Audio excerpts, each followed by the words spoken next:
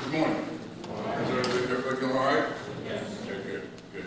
Uh, as Coach said, and, and listening to him, um, basically a long, long time ago, I was in these shoes here.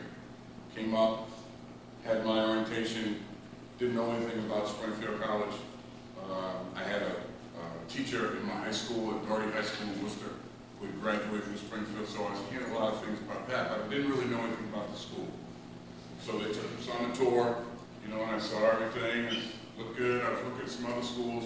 Didn't really know, as far as I was concerned, I was going to USC, UCLA, Alabama, and Florida. You know, I was the big, the big boy.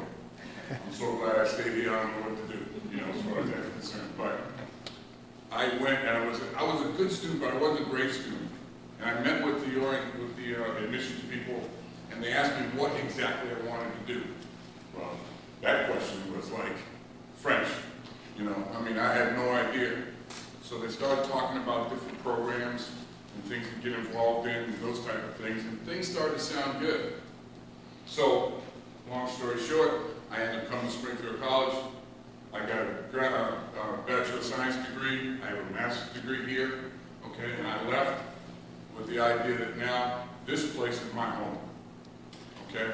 I've been to all the major colleges in the country, and as Coach mentioned about the facilities, there are two schools that I think may have it on us as far as facilities.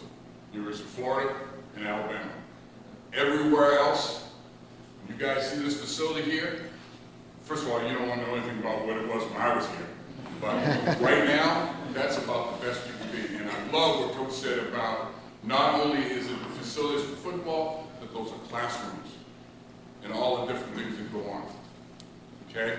So it's really important for me. and I could sit here and talk an hour as far as why you should come to Springfield College. But the, the, the, the point that Coach made about brotherhood, in the NFL, there are Springfield College people everywhere. There are ex-general managers, there are head coaches, there are assistant coaches, there are strength coaches, there are physical therapy, there are athletic trainers all over the place. And you know what? They stay in touch with everybody. I coached with two players, two coaches, uh, that went to, excuse me, went to Springfield here, and I still, they're one of my best friends.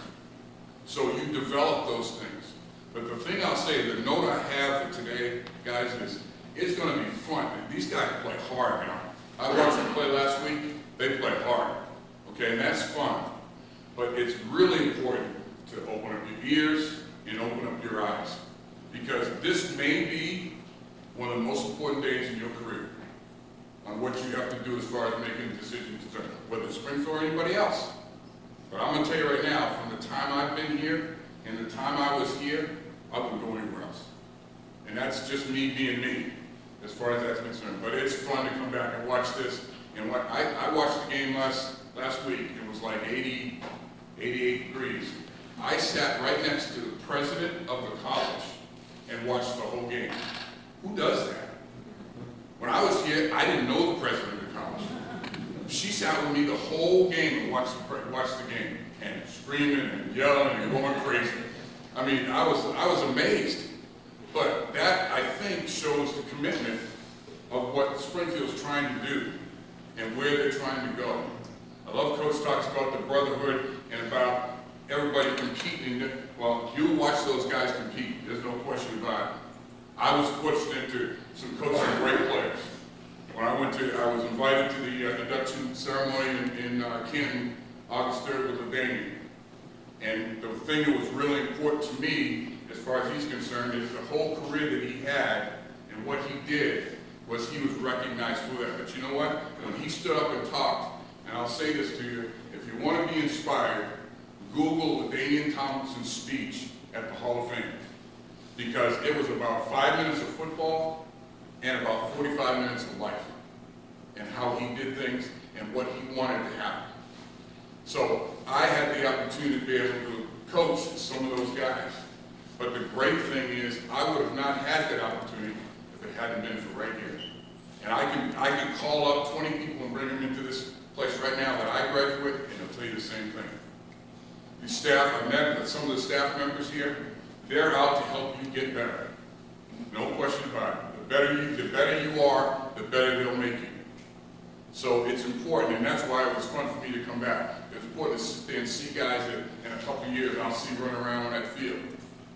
But open your ears, open your eyes, focus on the next day as far as what's going on, and make a decision what you want to do. Because this will be the most important day in your life